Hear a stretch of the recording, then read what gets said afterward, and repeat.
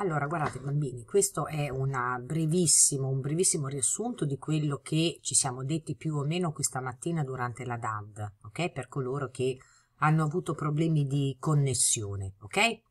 Allora, ripartiamo dal titolo, quindi i mali del mondo. Allora, quali sono i mali del mondo, ok?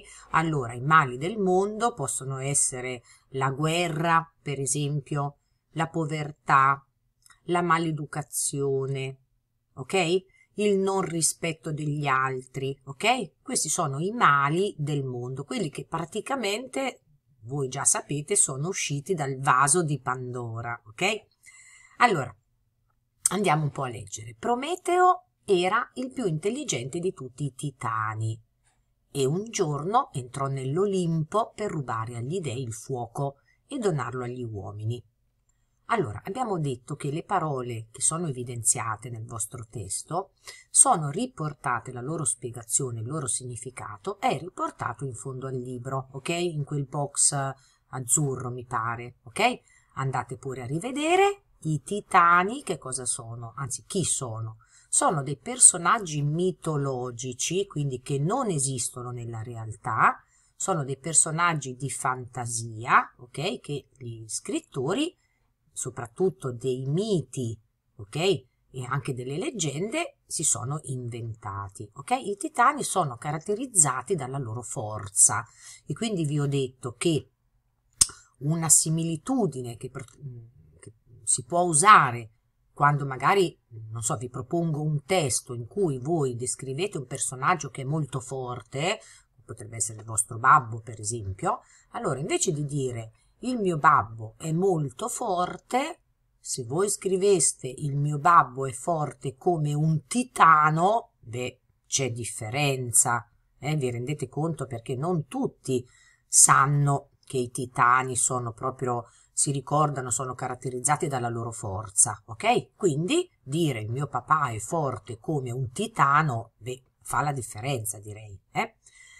E poi invece siamo andati a vedere l'Olimpo. Che cos'è? L'Olimpo è un monte della Grecia sul quale, nella sua nella cui sommità, abitavano gli dei, ok? Quindi gli dei bambini non sono ovviamente dei personaggi reali, ok? Perché nelle leggende e nei miti, anche se sono due cose diverse, vi ho detto, la leggenda ha delle caratteristiche il mito ne ha delle altre, però per noi adesso che stiamo cominciando, diciamo che più o meno sono la stessa cosa. E che cosa sono? Sono delle storie, dei racconti molto antichi, ma veramente tanto tanto antichi, che gli uomini si inventavano per spiegarsi delle cose che altrimenti con la ragione non potevano, perché non avevano bambini eh, le conoscenze che abbiamo adesso, le conoscenze scientifiche, ok? Anche grazie per esempio, le conoscenze storiche, ok? Pensate soltanto, eh, non lo so, alla scoperta del fuoco di cui si parla qua, ok? Noi adesso sappiamo, grazie agli storici, come probabilmente gli uomini hanno scoperto il fuoco, ma tanto tanto tempo fa, quando ancora non c'erano queste conoscenze, eh, gli uomini sentivano la necessità di si facevano delle domande, ma il fuoco come come è, come è arrivato sulla Terra? Come, chi ha inventato, no inventato, chi ha scoperto il fuoco? E siccome non sapevano darsi delle risposte, si sono inventati praticamente una storia e quindi i miti e le leggende che più o meno si assomigliano sono dei racconti di fantasia, ok? Sono dei racconti fantastici, non certo realistici, ok? È un testo narrativo perché racconta, ma è un narrativo fantastico, ok? Allora, andiamo un pochino avanti, quindi mh, mm, Prometeo no? che è il personaggio, diciamo, è chi fa tutte queste azioni. Prometeo entrò nell'Olimpo, vedete? Quindi Prometeo rubò il fuoco dal carro del sole e insegnò agli uomini come usarlo per cucinare e riscaldarsi.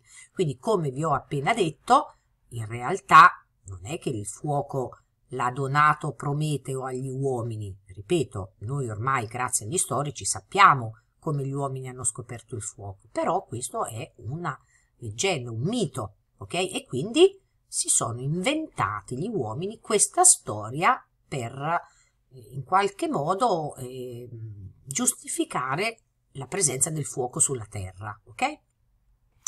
Quando Zeus guardò sulla terra e vide lo scintillio dei fuochi, andò su tutte le furie e decise di vendicarsi, ok? Come si vendicò? mandò sulla terra una fanciulla di nome Pandora, che aveva la bellezza di una dea, ma che avrebbe portato molte disgrazie al genere umano. Eccoli i mali del mondo. Eh? Quindi, Pando, quindi Zeus manda sulla terra Pandora, che sì, molto bella, ma che diciamo sarebbe stata lei la causa di tutti i mali che affliggono il genere umano, cioè gli uomini. Ok? Andiamo avanti. Zeus invitò la giovane Pandora, scusate, inviò la giovane Pandora dal fratello di Prometeo, che si chiamava Epimeteo. Quindi attenzione, sono in rima questi due nomi, Prometeo, Epimeteo, e sono due fratelli, ok? Quindi Epimeteo è il fratello di Prometeo. Quindi Zeus manda Pandora da Epimeteo e siccome prima diceva che questa Pandora aveva la bellezza di una dea, eh, cosa sarà successo? Epimeteo si innamora di lei e la sposa. Ok? Allora, Pandora aveva portato molti doni. Allora, dunque, vi avevo detto che Dunque questo l'ho detto solo nella A, credo, nella B non era venuto fuori il, discorso, però ehm, i, cosa succede? Nella tradizione, adesso ormai non succede, credo che non succeda quasi più, però quando per esempio io ero piccola, bambini, quando sono nata, i miei parenti, quindi i miei nonni, i miei zii, ma anche la mia mamma, ha cominciato a regalarmi, anche se io ero molto piccola e logicamente non è che potevo utilizzare questi regali. Perché?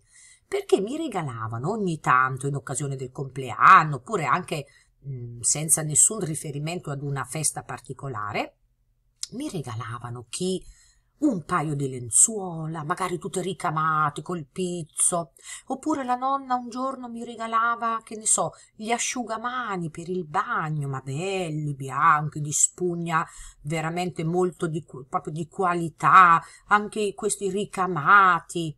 E, e qualcuno mi regalava invece magari eh, gli asciugamani per la cucina, gli strofinacci e mia mamma tutti questi regali che ricevevo di questa tipologia, non certamente i giochi, ok? Questi regali me li metteva da parte. Aveva, e ce l'ho ancora, un grande baule bellissimo, li metteva tutti lì dentro e mi diceva quando ti sposerai questi saranno tuoi e li porterai nella nuova casa.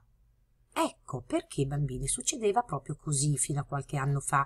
Adesso, ripeto, non so se succede più, però si usava fare dei regali alle, perso- alle, alle donne, diciamo, che si dovevano sposare, ok? E quindi queste donne, questa come Pandora in questo caso, quando si, si sarebbe sposata, avrebbe portato questi doni. Ed eccoli, Pandora aveva portato molti doni. Questi doni glieli aveva dati Zeus però a lei, ok? E Zeus, fra i doni che aveva dato a Pandora, in questo grande baule me lo immagino, c'era un vaso di argilla, questo che vedete come nell'immagine, completamente chiuso. Perché chiuso? Perché quello che c'era dentro non doveva assolutamente uscire. Ma Zeus diede ordine a Pandora di non aprirlo. Vedete, Pandora aveva portato molti doni, fra cui, quindi molti doni, avrà avuto le lenzuola, anche lei, gli asciugamani, ok? E tra questi doni c'era un vaso d'argilla, completamente chiuso, che aveva ordine di non aprire. Ma secondo voi, visto che Zeus si voleva vendicare perché avrà scelto proprio Pandora? Solo per la sua bellezza? Certo che no. Zeus sapeva che Pandora era molto curiosa e quindi era certo che prima o poi Pandora avrebbe aperto quel vaso d'argilla e così sarebbe uscito tutto il male del mondo perché Zeus si voleva vendicare, aveva messo in questo vaso tutti i possibili mali del mondo. Ok? Infatti, vedete cosa c'è scritto? Proprio questo la incuriosiva, il fatto che non lo poteva aprire e si domandava ma cosa ci sarà? Ma cosa avrà messo Zeus qui dentro? Ma perché non lo posso aprire? Quindi era curiosissima e un giorno Pandora non riuscì più a trattenersi e lo aprì. Ed ecco che Zeus ebbe la sua vendetta.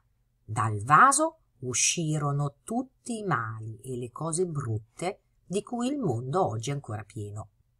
Ok? Vedete?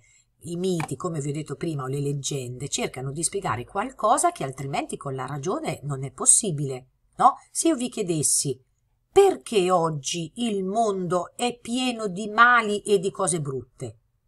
Certo, oggi lo sappiamo perché. Perché? Perché sono gli uomini che si comportano male, che fanno succedere le guerre, sono gli uomini che creano la povertà in certi paesi del mondo come l'Africa, perché ognuno si vuole arricchire, pensa solo per sé, è egoista e non pensa ad aiutare gli altri. E quindi succedono tutte queste cose brutte nel mondo. Eh? Quindi chi ha scritto questa leggenda, questo mito, voleva cercare di spiegare agli uomini perché nel mondo ci sono tutti questi mali e l'ha spiegato appunto con il vaso di Pandora, ok?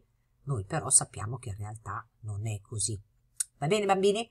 Ok, io spero più o meno di aver detto, toccato un po' tutto quello che ci siamo detti, però questo penso che sia sufficiente, ok? Buon pomeriggio bambini, ciao ciao!